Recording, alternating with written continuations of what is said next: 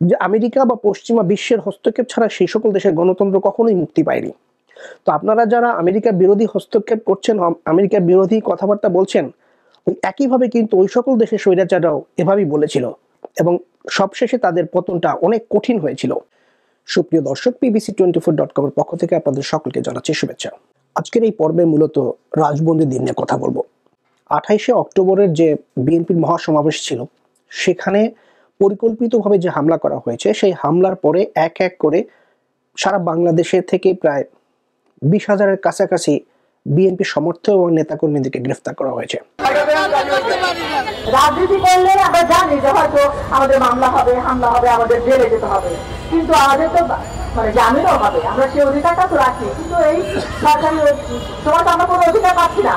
আমাদের আমার ছেলে লালবাগ থানা ছাত্র দলের সেক্রেটারি আমার ছেলেরে বিশে নভেম্বর রাত এগারোটা বন্ধুর বাসার থেকে ধরে নিয়ে আসছে। ওনার বলছি যে, আমার ছেলে কি অন্যায় করছে? কেন ধরে নিবেন? আমার ছেলে কি অন্যায় করছে? ওনারা বলছে ওনাকে বলছে যে, দেখান, দেখে আপনাদের কাছে কি প্রমাণ আছে? আমার ছেলের যে ধরে নিবেন? ওনারা কোনো প্রমাণ দেখাইতে পারে নাই আমারে, শুধু এই ছবিটা দেখাইছে আমারে। এই আমার মেয়ের সাথে ছবি উঠাইছে, এই ছবিটা দেখাইছে, আর কোনো প্রমাণ দেখাইতে পারে নাই। বিএমপি করে, বিএমপি করাতে কি অন্যায়? পঁচিশ অক্টোবর রাতে ডিবি অফিস ওনাকে ঢাকা সিটি কলেজের সামনে থেকে অ্যারেস্ট করে ডিবি অফিসে যে দুই দিন ছিল, সেটা কোনো পরিবারের মানুষকে জানানো হয়নি। বিভিন্ন অজুহাতে তাদেরকে গ্রেফতার করা হয়েছে। একটা গণতান্ত্রিক প্রক্রিয়া বা একটা গণতান্ত্রিক দেশে সভা সমাবেশ করা কখনো অন্যায় নয় এবং এই সভা সমাবেশ করা কিন্তু সকলের অধিকার রয়েছে।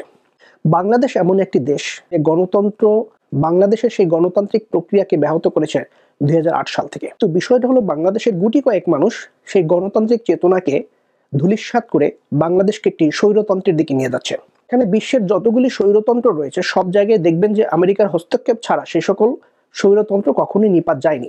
জার্মানের হিটলার থেকে শুরু করেন ইটালির মুসেলিনি, সাদ্দাম হোসেন বা মিশরের হুসনি মোবারক, গাদ্দাফি, যতগুলি স্বৈরশাসক পৃথিবীতে ছিল, তারা প্রথমেই তাদের দেশকে সংবিধানটাকে প্রথম পরিবর্তন করেছে, তারপরে তাদের প্রশাসনিক বিভাগটাকে পরিবর্তন করেছে এবং শেষে একনায়কতন্ত্র কায়েম করার জন্য একদলীয় শাসন ব্যবস্থা কায়েম এবং একদলীয় নির্বাচন ব্যবস্থা কায়েম করেছে। এ সকল উদীয়মান স্বৈরাচাররা সবসময় কিন্তু বাংলাদেশের বা বিশ্বের যেই কোনো দেশে স্বৈরতন্ত্রের উদ্ভব হয়, সেই সকল দেশের মানুষ তাদের স্বাধীনতা, কখনো তাদের রেস কখনো বা তাদের ধর্মকে ব্যবহার করে।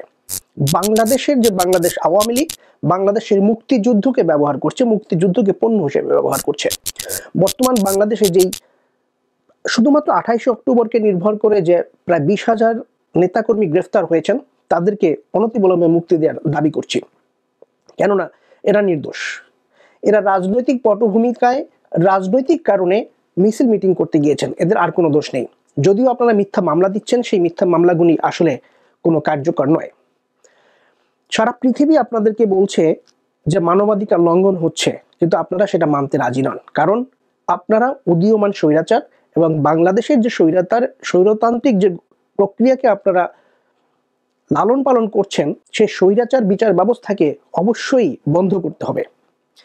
দেখুন, পৃথিবীতে কোনো দেশের স্বৈরতন্ত্র আমেরিকার হস্তক্ষেপ ছাড়া যায়নি। তারা নিজেরা কখনো পদত্যাগ করেনি। এবং দেশের গণতন্ত্র বা দেশের জনগণকে এমনভাবে চারদিক থেকে আটকে রাখা হয়েছে যে আমেরিকা বা পশ্চিমা বিশ্বের হস্তক্ষেপ ছাড়া সেই সকল দেশের গণতন্ত্র কখনোই মুক্তি পায়নি। তো আপনারা যারা আমেরিকা বিরোধী হস্তক্ষেপ করছেন আমেরিকা বিরোধী কথাবার্তা বলছেন, ওই একইভাবে কিন্তু ওই সকল দেশের স্বৈরাচাররাও এভাবেই বলেছিল এবং সবশেষে তাদের পতনটা অনেক কঠিন হয়েছিল। আপনি যদি বাংলাদেশের সাধারণ মানুষের দিকে তাকান, যারা আওয়ামী লীগ সমর্থন করে, কিন্তু আওয়ামী জাহিলিয়াতের অংশ নয় এমন আওয়ামী লীগের সমর্থকরা কিন্তু এই গণতান্ত্রিক প্রক্রিয়াকে নস্বাত করার বিরুদ্ধে অবস্থান করবেন। হাজার হাজার আওয়ামী লীগ কর্মীরা রয়েছেন যারা এই গণতান্ত্রিক প্রক্রিয়াকে নস্বাত করার বিরুদ্ধে অবস্থান করছেন। হয়তোবা তারা নীরব, তারা ভোট দিতে যাবেন না বা কোনো নির্বাচনে অংশ নিচ্ছেন না। কিন্তু তারা সামনে এসে বলতে পারছেন না দল থেকে বহিষ্কারের ভয়ে। এই দলটাকে যারা চালাচ্ছেন, সে হাইকমান্ডে কিছু আওয়ামী জাহিলিয়াত রয়েছেন। এই জাহিলিয়াত থেকে মুক্তি দরকার। সাম্প্রতিক সময় আপনারা দেখেছেন যে একজন যুবদল কর্মীকে ডান্ডাবেরি পরানো অবস্থায় তাকে হসপিটালে প্রেরণ করা হয়েছে। যেই ব্যক্তি অসুস্থ, তাকে ডান্ডাবেরি পরিয়ে কেন চিকিৎসা দিতে হবে, সে কি ওখান থেকে পলায়ন করতে পারে? ডান্ডাবেরি পরিয়ে হৃদরোগে আক্রান্ত যুবদল নেতাকে চিকিৎসা। যশোরে বিশেষ ক্ষমতা আইনের মামলায় গ্রেপ্তার যুবদলের এক নেতাকে ডান্ডাবেরি পরিয়ে হাসপাতালে চিকিৎসা দেওয়ার অভিযোগ উঠেছে।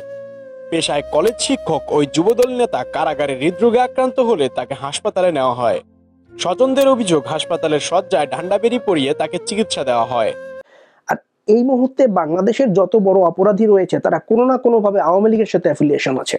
তারা বিরোধী দলে থাকতে পারে না, থাকার কোনো সুযোগ নেই, কারণ পুলিশ তাদেরকে হন্যে হয়ে ঘুরছে। তো যেখানে যেই দেশে কোনো অপরাধীকে বাইরে থাকা সম্ভব নয়, সেখানে যুবদল, ছাত্রদল বিএনপি যে সকল নেতাকর্মীদের আপনারা নতুনভাবে গ্রেফতার করে তাদেরকে কালিমা লাগাচ্ছেন, তারা কিন্তু আসলে অপরাধী নয়। এই সকল লোকদেরকে মুক্তি দিন এবং সকল রাজনৈতিক যে সকল সিনিয়র নেতৃবৃন্দ রয়েছে, তাদের ব্যাপারে যে অবস্থান আপনারা নিয়েছেন, গণতান্ত্রিক প্রক্রিয়াকে অব্যাহত রাখার জন্য তাদেরকে অবশ্যই মুক্তি দিন। কারণ একটা দেশ এভাবে চলতে পারে না। বাংলাদেশ, উত্তর কোরিয়া হবে, বাংলাদেশ, মিয়ানমার হবে। এবারে যে নির্বাচন হতে আছে দু হাজার চব্বিশের সাত, জানুয়ারি, সেই নির্বাচনে যে ধরনের পাতানো একটা সিচুয়েশন পাতানো সিচুয়েশন বলতে আওয়ামী লীগ একতরফা তারা ইয়ে করেছে, জাতীয় পার্টি তো একটা লীলা খেলার জায়গা। জাতীয় জাতীয় পার্টি তার মতো করে সে নমিনেশন দিয়ে যাচ্ছে, বেচাকেনি হচ্ছে। এই গণতান্ত্রিক প্রক্রিয়া এবং সংবিধানের দোহাই দিয়ে যে এক, একদলীয় শাসন ব্যবস্থা আপনারা কায়েম করতে যাচ্ছেন, সেটা একান্তভাবেই স্বৈরাচারী। একান্তভাবেই স্বৈরাচারী, আমি আবারও বলছি, এই স্বৈরাচারের পতন বাংলাদেশের মানুষ যদি করতে নাও পারে, সেখানে বিদেশি হস্তক্ষেপ যদি আসে, আপনাদের যতই বিরোধিতা থাকুক না কেন, যেহেতু আমেরিকা গণতন্ত্রের রক্ষক, সেহেতু আমেরিকাকে অবশ্যই এগিয়ে আসতে হবে, পশ্চিম বিশ্বকে অবশ্যই এগিয়ে আসতে হবে। আপনারা যদি সেই কঠিন পরিস্থিতির দিকে আগাতে না চান, তাহলে সামান্য হলেও গণতান্ত্রিক প্রক্রিয়ার দিকে ফিরে আসুন। নির্বাচনে পুনর্তফসিল ঘোষণা করে সকল দশ, সকল দলকে অংশগ্রহণের সুযোগ করে দিন। তত্ত্বাবধায়ক সরকারের দাবি মেনে নিয়ে আপনারা সেই নির্বাচনে আসুন। সকলে মিলে একটা স্বতঃস্ফূর্ত নির্বাচন করুন। তবে একটা জিনিস মনে রাখবেন, পৃথিবীর কোনো স্বৈরাচার বিতাড়িত হয়নি পশ্চিমা বিশ্বের হস্তক্ষেপ ছাড়া। এবং পশ্চিমা বিশ্ব আপনাদেরকে এখন হস্তক্ষেপ করছে, অতএব বাংলাদেশে গণতন্ত্র পুনঃপ্রতিষ্ঠা হবে এবং সেটা অতি শীঘ্রই হবে। জাতিসংঘ ইতিমধ্যে ঘোষণা করেছে, বাংলাদেশের যে কালো আইন, অর্থাৎ ডিজিটাল নিরাপত্তা আইন নামে যেই একটা কালো আইন করা হয়েছে সেই আইনটিকে অবিলম্বে বন্ধ করতে হবে। বাংলাদেশে মিথ্যা মামলা দিয়ে যে বিশ হাজার নেতাকর্মীকে গ্রেফতার করা হয়েছে, তাদেরকে মুক্তি দিতে হবে। বিশেষ করে আমার পটুয়াখালীর সাবেক স্বরাষ্ট্রমন্ত্রী জনাব আলতাফ হোসেন চৌধুরীকে মুক্তির জন্য আমি বিশেষভাবে দাবি জানাচ্ছি। ভালো থাকুন আপনারা।